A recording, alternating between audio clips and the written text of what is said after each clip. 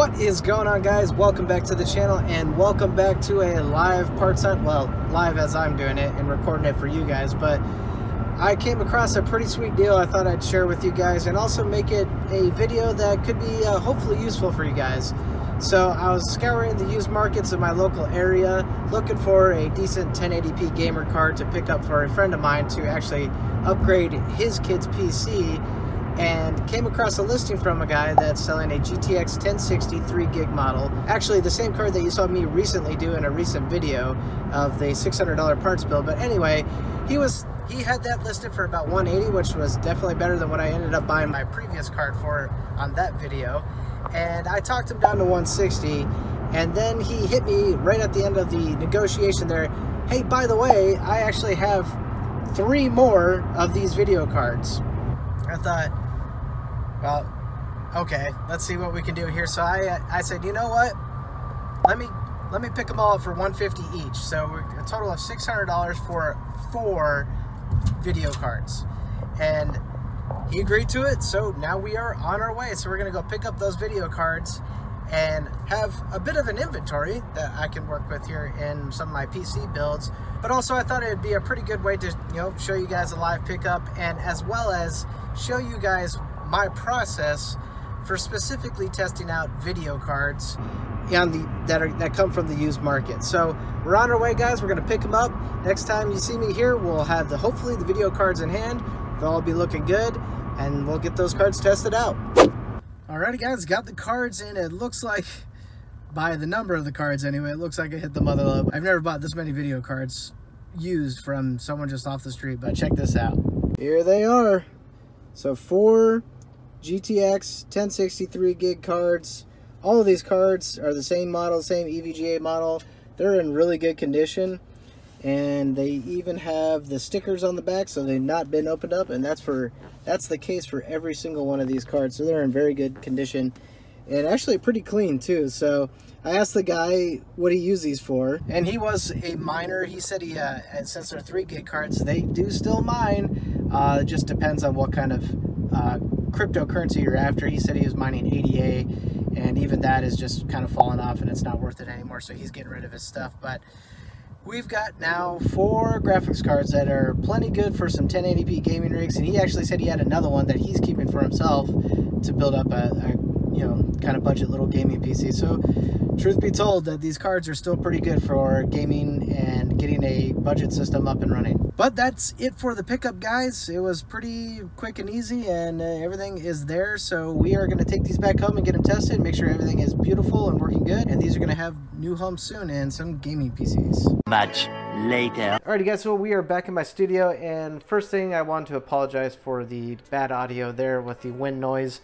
I didn't realize that I had my cell phone that I was recording on there right in front of an AC vent, so it sounded like I was holding it out the window. So apologies for that and the video format. But here we are. We've got all four of the graphics cards lined up and my test rig ready to go. This is just basically an HP motherboard and some RAM and uh, power supply. And basically it's stuff that I took out of an OEM that I'm not worried about if something catastrophic happens and it's just kind of throwaway parts. So I can throw some parts on it that I don't necessarily trust. So let's go through the process of getting all four of these tested. I won't do the process each and individually for all four because the process is relatively extensive in time, but I at least want to show you the process completely through on one of the video cards and then we'll probably just, I'll just check the rest of them off camera. But so let's grab one of the cards, get it installed on the motherboard and then get everything powered up and see how this goes.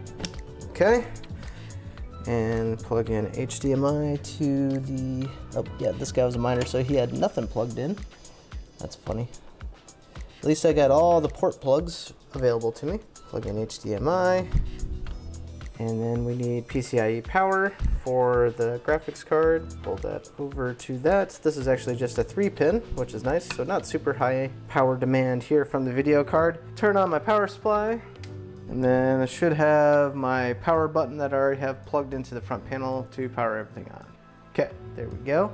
All right, fan spinning on the graphics card. Let's just spin over to my monitor to see if we get a display. Actually, wow, that we weren't fast enough with that. Alrighty, so we weren't quite quick enough to catch any kind of BIOS or just initial boot up there, but this is good. That means that we clearly are getting video from the graphics card. I haven't booted up the system in a while, so we are actually going through a kind of a startup repair from the original operating system that I have just installed on a basic hard drive. But I'll cut the video to Windows once it actually boots up here for you guys, so we aren't waiting on this forever. Alrighty guys, so we are in Windows, and with any video card, I would definitely suggest you do a fresh installation of the drivers, and the best way doing so is to use DDU uninstaller. So what we'll do here is, and actually to launch DDU uninstaller, is you want to launch into safe mode. So we're gonna hold the, down the shift button, click on Windows, and then click restart. So that way we'll load into the boot up options that allows us to get into safe mode and then run DDU uninstaller from there.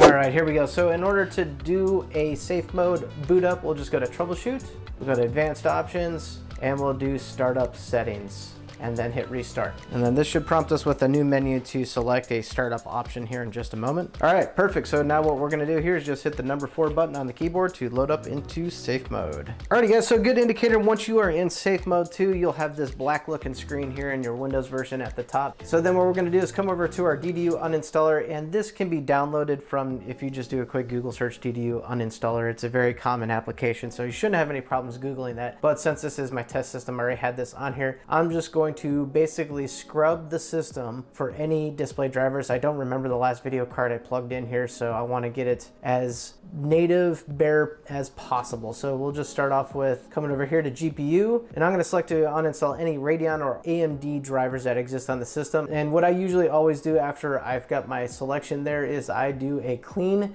and reboot, the one that's highly recommended on the screen. And then what it's gonna do, it's gonna basically run through the certain options that it's running through right now. It's scanning for files and all that stuff, whatever it's do, doing automatically, and then it'll actually reboot. So we're just gonna let it run. Alrighty, DDU has ran through at least the AMD driver installation. We're coming back up into Windows normally. It looks like, uh, I think I'm getting hit with an update here, so lovely. Stand by. So now we should have all AMD drivers uninstalled. We're gonna do the same exact process for NVIDIA drivers. So we're gonna restart the computer into safe mode again, and then run DDU again on NVIDIA. So since I already kind of took you through that process with AMD, it's exactly the same for NVIDIA. You just select NVIDIA dropdown. We'll cut to where we're at after that is complete. A few moments later. Alrighty, we are back up on Windows now. So we have both the AMD and NVIDIA drivers completely uninstalled. This is basically now at this point a bare driver that the OS is using to run the GPU and obviously the GPU is functioning because we have a display. So one other thing too to check real fast just to ensure to kind of see what the operating system is seeing in terms of what is installed as far as the GPU goes, we can just open up our task manager and take a look at that. So if you just right click down your taskbar, click task manager, and then if we click on performance, Okay, so we're actually not seeing anything, so it's really not detecting any type of display hardware. That's not necessarily a bad thing, so let's give it the opportunity. What is likely going on right now is Windows is scrubbing the internet for a driver to update, so it's likely we could see some screen flickers or whatever, but what's best to do since we know what display driver or hardware that we have, let's go download it. All right, so here we are on NVIDIA's website, and it's actually kind of already detected what we have in the system, so that's good. So we're gonna just click the search button. We didn't actually have to plug in any drop downs and click download to get the game ready driver. Alrighty, so the installer is saying we are now done. So let's just do a quick little verify, go back to our task manager. So even though we got this as detected in the task manager, I usually like to just give the system one more clean reboot. NVIDIA sometimes doesn't really make you do that, but AMD is usually pretty prevalent with reboots after driver install. So we're gonna do that, get it on a nice fresh start for some benchmarks. Alrighty, so we got a fresh reboot, and the thing that I want to advise everybody to get for something like this is get MSI Afterburner so that way we can keep an eye on everything that's going on with the GPU. Task Manager is nice as far as just detecting it and seeing the usage and stuff, but MSI Afterburner is going to tell us much, much more.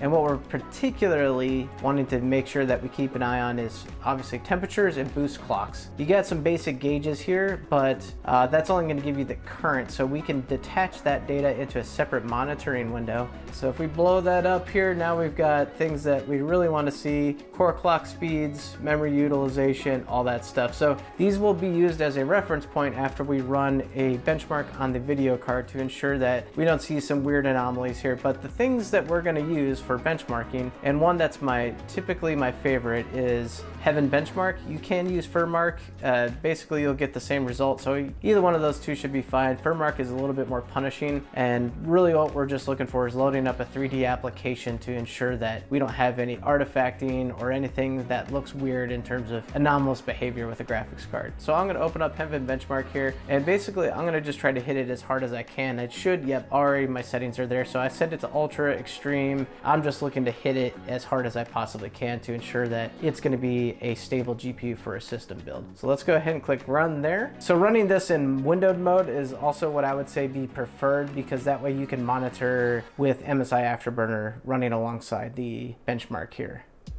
So it's about loaded up and here it goes. Now, all you gotta do is after it's here is just let it run. And from here, I'm just going to, this is, you can technically take a benchmark and get a score, but if you just let it run here on the open menu, it's just going to loop endlessly until you stop it. So what I, I typically do to ensure that I've got a good stable system is I'll let this run for 20, 30 minutes. And in the meantime, I'm also monitoring things like, is the fan ramping up like it should? Is it making excessive noise, etc., etc. But here's where we can keep an eye on those things and let that run. So we'll let that run for 20 minutes and let's just take a quick peek at the GPU itself here. Just make sure everything is nice and dandy. It is just sitting on the bench like this so it's not, you know, a case or anything. So the only airflow is it just open airflow. But right now I'm just listening for is the fan running fine as expected. It should be at about 60% right now and I don't hear any type of noise, but here's a quick listen for you guys. So it sounds like it's running just fine. I don't hear any anomalies. So the idea here is just let it run 20 minutes and ensure, watch the screen and check our graphs. Make sure we don't have any anomalous behavior. And I'd say we're good to go on this video card. Also guys, one other quick mention too, what you want to be aware of with your video card too, especially if you bought it from a miner because you're not real sure what they did, if they flash BIOS or whatever, you want to be making sure that the clock speeds are hitting the targets that it should be. So with this GTX 1060, it should be hitting anywhere between 1550 and 1800 megahertz on the core clock. And it looks like right now we're running at about 1646 and that's about the average or so. So looking pretty good there.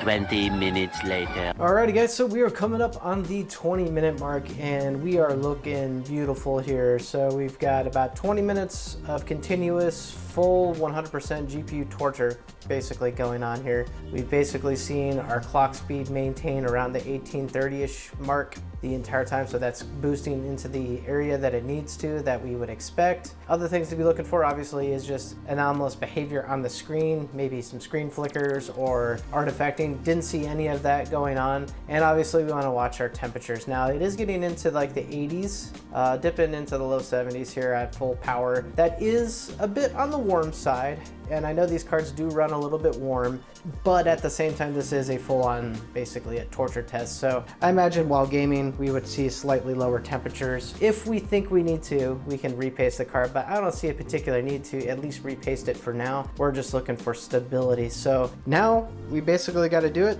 three more times. So guys, that is my used GPU testing process that it works for me just about every time to give me a result that I'm looking for. But if you're not 100% convinced that picking up a used GPU is still a viable good thing to do, if you're in a pinch, then check out this video I have for you where actually I take this same exact GPU model and build up a awesome price to performance gaming PC.